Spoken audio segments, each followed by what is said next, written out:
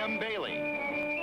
Starring in The Baileys of Balboa.